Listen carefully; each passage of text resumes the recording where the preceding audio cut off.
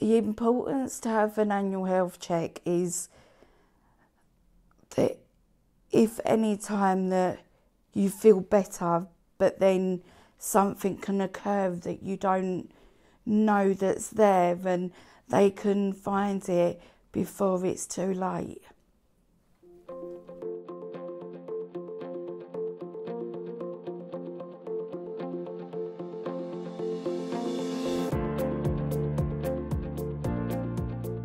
It's known that people with learning disabilities have poorer health than other people in, um, in England.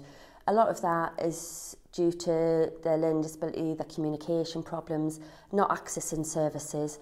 Um, annual health checks are invaluable for improving um, health for people with learning disabilities. Every year I can go see my GP and he knows that um, I will be there and I can um, I will be able to, I can tell him what their problems are, if there is anything, and he can help me and um, he can help mum.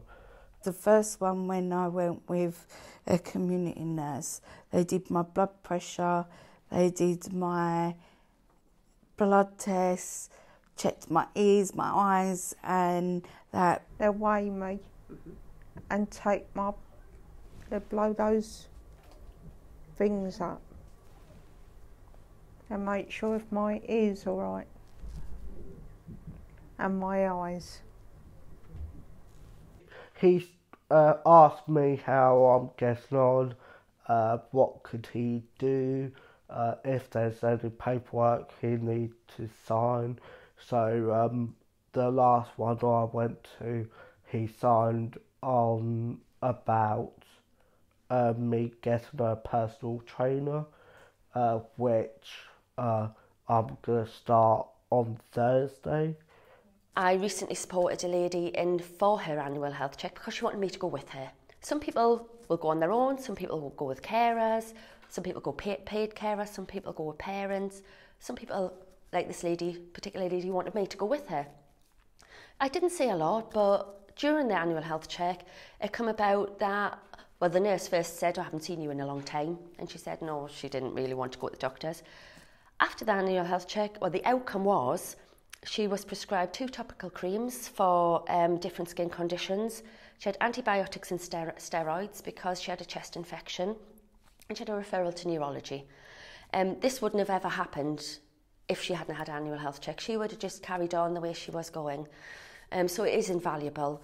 I get panicky because of my autism, so it would help for GPs to understand some uh, patients might want to know when their time is ready because I know they the GPs are running late even though in the morning when it's like the first appointment they're always running late, but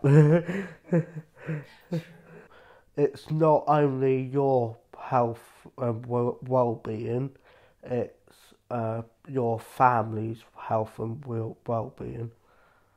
Um, so if you can't, if you're not well, then your family can't uh, look after you and so on and so forth.